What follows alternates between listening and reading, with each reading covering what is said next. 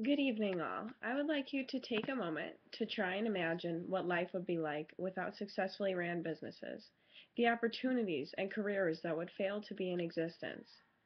No revenue acquired, therefore no worthy life to be lived. Having a job or career is obviously vital towards our survival. My name is Kayla Vitkovsky, and tonight I would like to discuss the three things a business can do to ensure success. I have personally worked in a small family owned and operated business for the past three years and have been granted specific responsibilities which have allowed me to gain an understanding of the important tools a business needs to possess in order to be successful.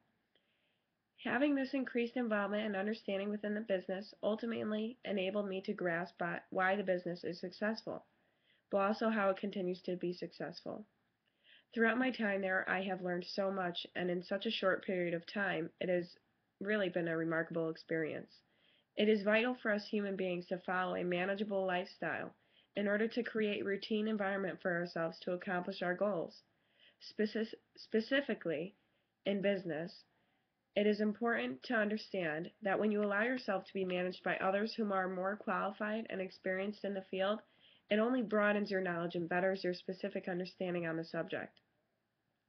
It is a fascinating and progressive process that we have the opportunity to make a career of, and in the long run are making a proud living for ourselves and the loved ones who support what we do.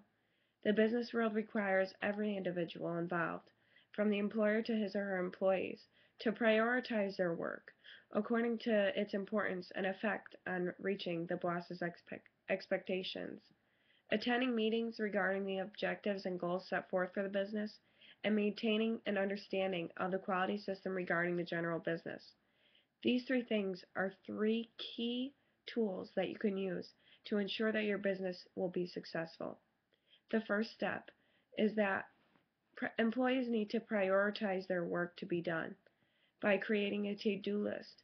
This will ensure that all work set forth by their boss will be completed in a timely manner.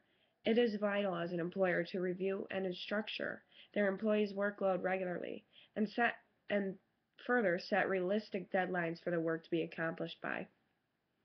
It is highly recommended for employees to keep a time management plan.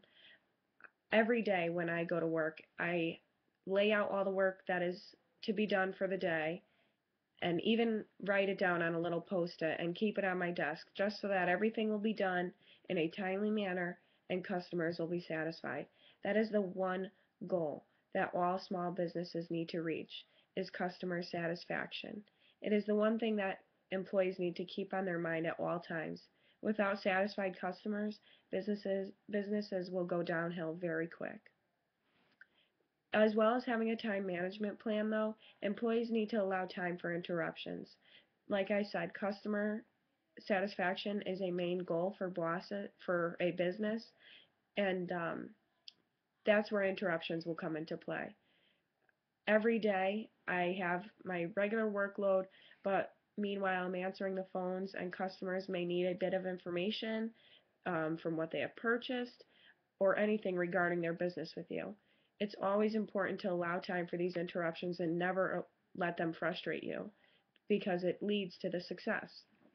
Secondly, I have also discovered that holding meetings on a daily basis or weekly basis prove to be effective in order to keep the employees in each department involved with their coworkers and leader.